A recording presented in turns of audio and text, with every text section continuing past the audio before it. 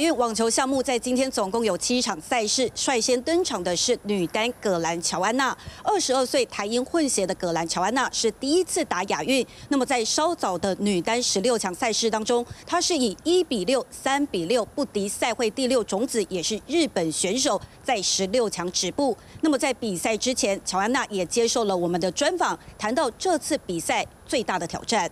最大的考验应该是天气吧，气候，因为我。习惯在我我平常是在国外训练，在英国，然后那边天气是会会冷啊，会冷，然后也不像这边这么闷，所以我会怕有点怕热。比赛场地很新吧，感觉很新，然后很慢，所以应该来回应该会很多。乔安娜女单落败相当可惜，另外男单吴东林也是止步十六强。不过许玉修和庄吉生的男双，以及是詹永然、詹浩晴的女双，都是顺利晋级八强。以上是记者林敏珍、陈旭毅在杭州掌握的最新讯息。